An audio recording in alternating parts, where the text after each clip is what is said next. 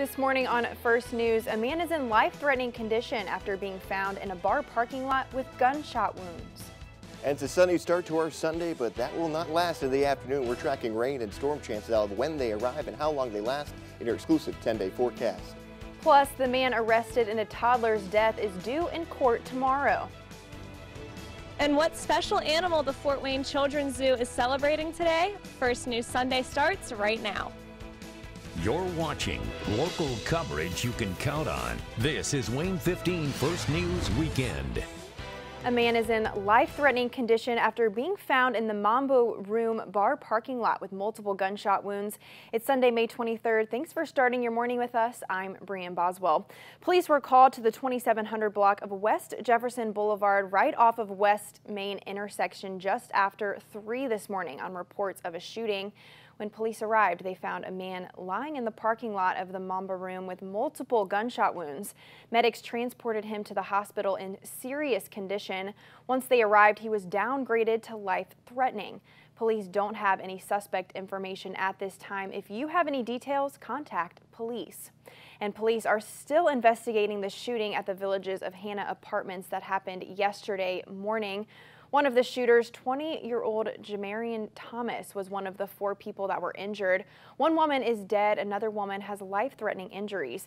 When officers arrived to the scene after 1240 a.m., they heard multiple gunshot wounds but weren't able to find any of the shooters. After checking the apartments, they found five victims. Officers believe that they were hit by stray bullets that flew into their homes. Two women were treated for non-life-threatening injuries. Thomas is in good condition and is in police custody. He faces charges of aggravated battery causing death. The investigation is ongoing. Anyone with information is asked to call police or Crime Stoppers. It is a beautiful morning, Adam, but there might be some bad news on the horizon if you like the sunny weather. Yeah, we're going to see the clouds work their way back in. It's kind of the opposite of what we had yesterday. We started yesterday with clouds, mm -hmm. ended it with sun. Today, we're going to start with sun and end with clouds, but also add in some showers and thunderstorm chances by the late afternoon and evening hours. You can see the sunny conditions we have out at Lake James over downtown Fort Wayne, Bluffton, and Country Heritage. Barely a cloud in the sky in many locations, but in Bluffton, you can see some of those clouds on the horizon, and those are going to be filling in as the morning goes along. 69 degrees, a very mild start to the day for 8 o'clock here in Fort Wayne this morning. In May, 72 in Defiance, 68 in Bryan, also in Angola, 65 in Columbia City, while 66 in Warsaw and 67 right now in Marion, while it's 67 also in Van Wert. Satellite and radar shows those clear conditions across northeast Indiana and northwest Ohio, but we can see the clouds working their way into the western part of the state, and there is some moisture out there. This main band that's moving through Chicago looks to mostly miss us. We may see an isolated shower or two. Better rain chances, though, will arrive for the mid-afternoon hours into our evening. Here's a look at our hourly planner for today. You can see the increase in clouds to mostly cloudy, even overcast at times. 80 degrees by noon, 82 by 2, and we'll see temperatures again into the mid-80s for this afternoon. Another mild day by May standards. We'll see these 80s continue into the start of the work week, but also track those rain and storm chances. Have the details on how long those will last coming up in about 10 minutes. Thank you for that, Adam. St. Joe Community Church's last food box drive wrapped up for the year. Over 1,000 boxes were given to families in need. Fort Wayne organizations, along with other churches and the Fort Wayne Police Department, helped to pass them out.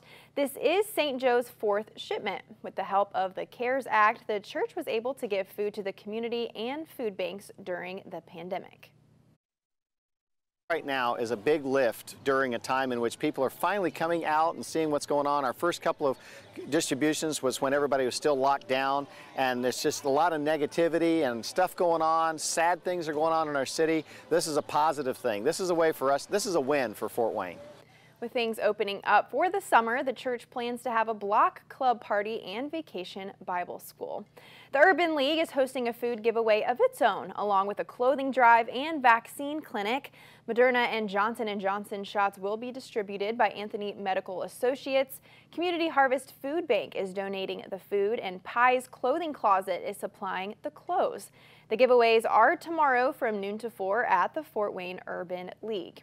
And Parkview Health is opening up a pop-up vaccine clinic tomorrow. It is partnering up with Renaissance Point YMCA and the Zeta Eta chapter of Chi Eta Phi Nursing Society. The Johnson & Johnson vaccine will be administered for ages 18 and older. Pre-registration is available at the YMCA's front desk or by calling 447-4567. Walk-ins are also available and a YMCA membership is not required. The clinic will be open at Renaissance Point YMCA tomorrow from 8 to 11 a.m. and 4 to 7 p.m. The Fort Wayne Children's Zoo is celebrating a very special animal today. WANE 15's Natalie Clydesdale is at the zoo now. She joins us live. Natalie, what animal?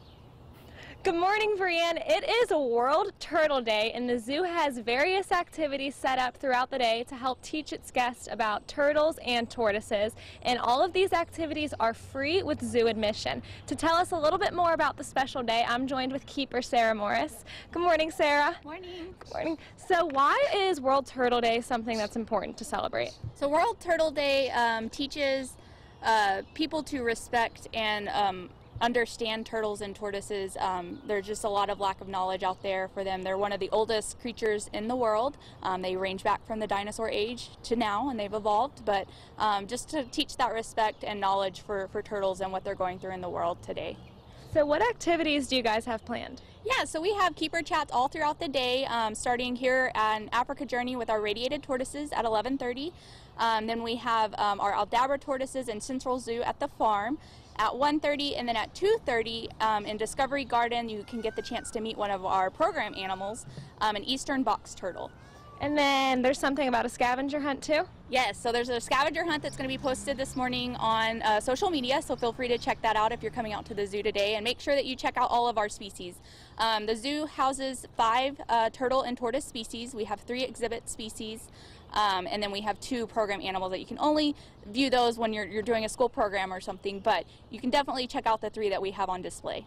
All right, so here's a question I've been wanting to know the answer to. What is the difference between a turtle and a tortoise? So that is a wonderful question. So actually all tortoises are turtles, but not all turtles are tortoises. So I know that's kind of confusing.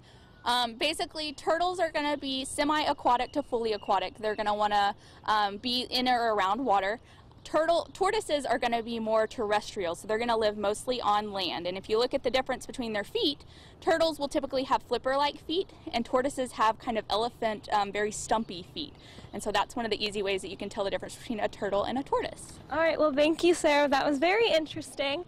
All right, World Turtle Day lasts as long as the zoo is open today from 9 a.m. to 6 p.m. and coming up when we check back in we will talk a little bit more about the special day.